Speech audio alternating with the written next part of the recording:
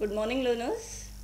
I am Lalita Bisht, working as assistant professor in Department of School uh, IT and Computer Science. Today I am here to present the topic the Internet of Things, one of the most talked about topic in computer science. Now, imagine a world where uh, the static objects uh, are not just static objects but are interconnected to each other and they communicate with each other and hence making our life easier and smart. Now that is the essence of Internet of Things. So we'll be discussing the uh, contents over here, uh, the history of IoT, IoT definition, how, how IoT works, what is an example of an IoT device, IoT benefits to organization, why is Internet of Things so important, IoT applications, challenges and limitations of IoT, advantages of IoT and disadvantages of IoT. History of IoT. Now, way back in 1999, the term Internet of Things was used by Kevin Ashton during his work at P&G, which became widely accepted. It was back in 1999 the term was coined. Now, in 2004, the term was mentioned in the famous publications like Guardian, Boston Globe, and Scientific American. In 2005, UN's International Telecommunication Union, that is ITU, published its first report on this topic. 2008, the Internet of Things was actually born. So it was year 2008 when the Internet of Things came into use or became a uh, day-to-day mm, part of day-to-day -day life. Now in 2011, Gartner, the market research company, include the Internet of Things technology in their research. So it was in 2011 that Internet of Things also started and became a part of research field. Uh, this is the IoT timeline. Uh, so I told you as uh, it started from 1990s. Way back in 1990s, uh, IoT concept was used in airplanes and satellites. De uh, decade by decade, it is progressing and growing. And today we can see there, are, there are several smart devices which we are using eh, in our home day-to-day -day life and in a home uh, which are all IoT based. Now IoT definition. According to Wikipedia, the Internet of Things describes physical objects or group of such objects with sensors. So in IoT, sensors play very important role.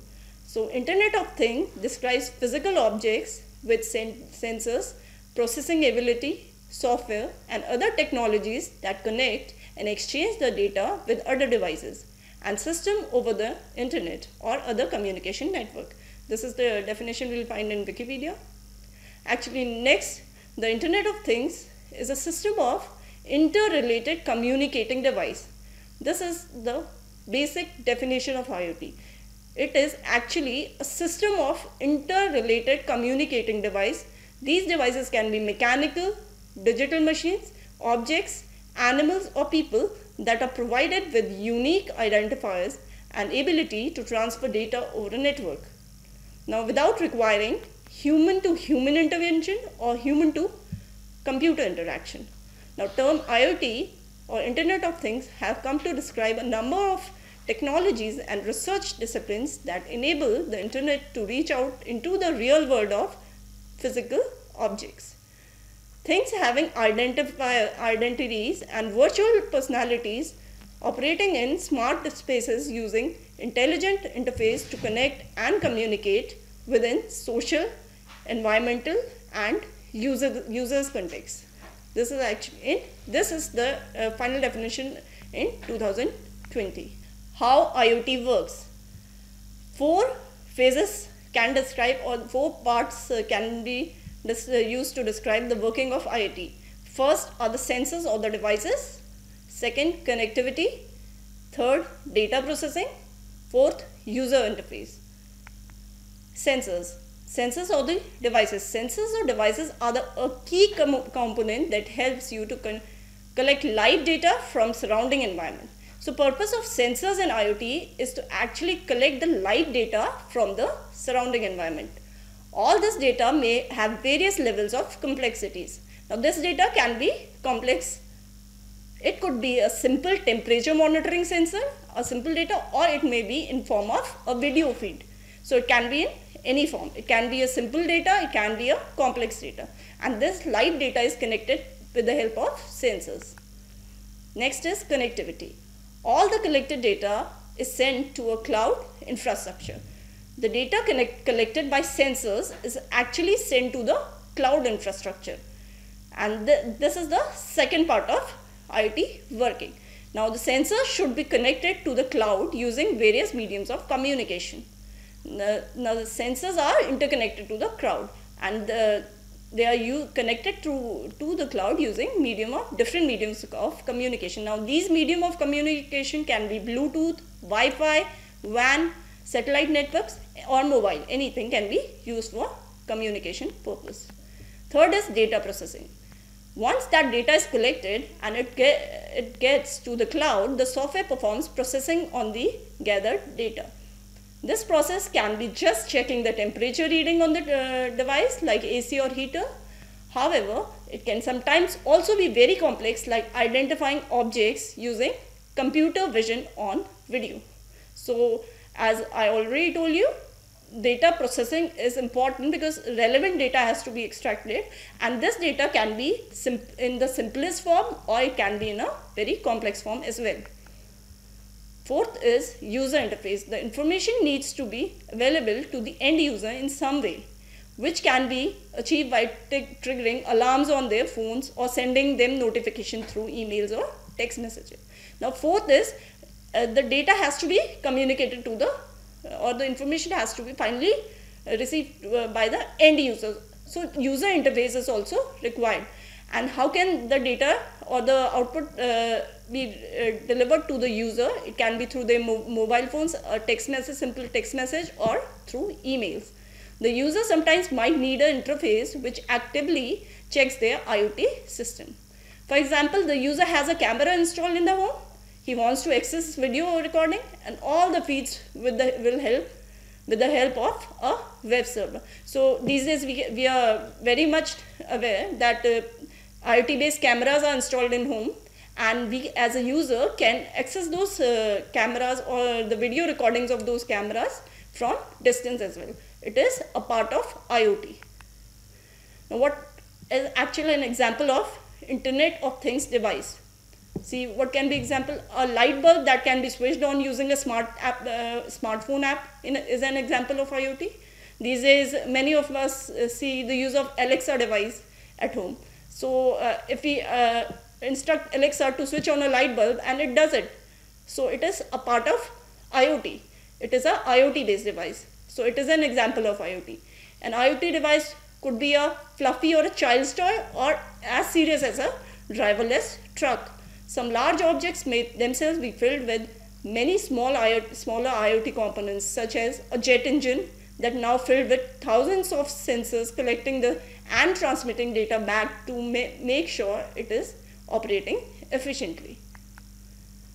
What are the benefits of IoT to organizations? Monitor their overall business process. IoT can help any organization to monitor their overall business process. So it is a very important and crucial benefit that IoT provides to an organization. Improve the customer experience. Of course, customer feedback is important for any organization. So their customer experience can also be improved using IoT. Save time and money, enhance employee productivity, integrate and adapt business models, make better business decisions, and generate more revenue. These are the benefits of IoT. Now, why IoT is so important? Over the past few years, IoT has become one of the most important technology of the 21st century. Now that we can, we can connect everyday objects, kitchen appliances, cars, thermostats, baby monitors to internet via embedded devices, seamless communication is possible between people, processes and things. By means of low-cost computing, the cloud, big data, analytics and mobile technologies, Physical things can share and collect data with minimum human, human intervention.